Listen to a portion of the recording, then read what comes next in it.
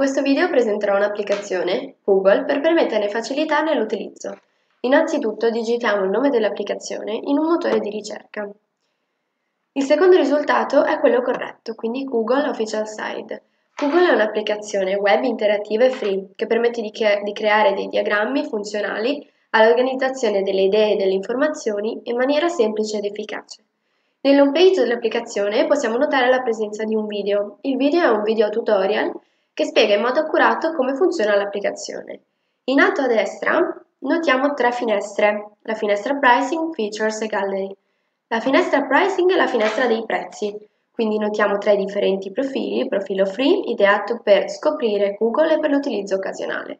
Il profilo EUSOM, ideato per l'utilizzo eh, personale e professionale, 5 dollari al mese, e il profilo Organization ideato per i team che sono 8 dollari a membro a mese. Comunque eh, l'offerta free è abbastanza è molto ampia. Passiamo alla finestra Features. Allora, la finestra Features ci spiega le caratteristiche dell'applicazione. Innanzitutto possiamo eh, coinvolgere altre persone per lavorare tutti insieme a un, a un, a un diagramma, eh, a una mappa mentale a cui noi stiamo lavorando. Possiamo inserire delle immagini, Possiamo andare indietro nel tempo e vedere la cronologia delle modifiche nel nostro diagramma?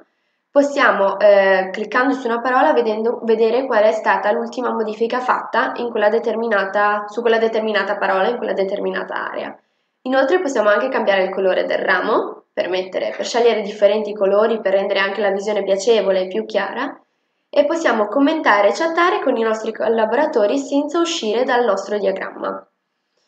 Abbiamo un'ultima finestra, la finestra Gallery, dove possiamo eh, visualizzare degli esempi di diagrammi. In questi diagrammi si può anche vedere che c'è appunto la possibilità di inserire varie immagini, di farli anche abbastanza grandi. E tutto questo non è necessario alla registrazione. Ci registriamo per vedere effettivamente come funziona l'applicazione. La registrazione è semplice, io mi sono registrata con un account Google questa qua è la mia scrivania dove io creo i miei diagrammi. Possiamo vedere anche quelli condivisi con me e la galleria che è quella di prima, quindi i diagrammi che sono già stati presentati e possiamo vederli tranquillamente anche quando non siamo registrati.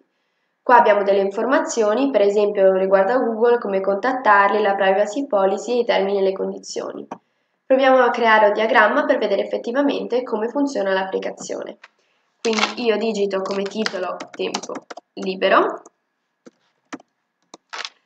Posso metterlo anche in grassetto, da qua faccio partire un ramo, del ramo posso scegliere per esempio il colore.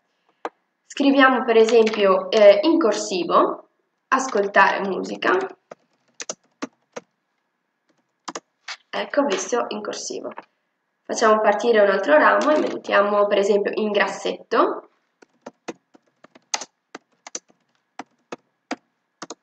e vediamo che è in grassetto.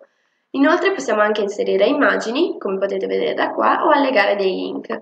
Dai rami possiamo appunto scegliere il colore e possiamo far, far partire altri rami. Spero che questo breve video vi sia stato di aiuto e grazie, arrivederci.